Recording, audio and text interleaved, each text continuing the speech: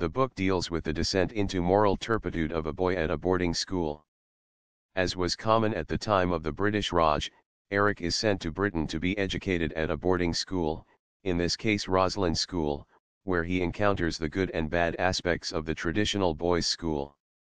He slowly gets beaten down by being punished erroneously for wrongdoings, getting bullied and such things as drinking, smoking, and cheating.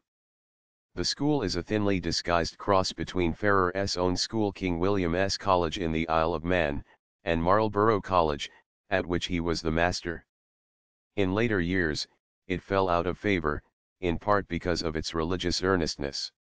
For example, in Rudyard Kipling's Stalky and Co., published late in 1899, the protagonist Beetle and his friends frequently made fun of Eric, E.G.